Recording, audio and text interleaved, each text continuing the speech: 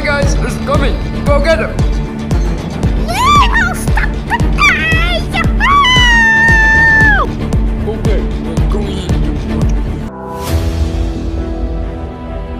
You will be the uh, motherfucker.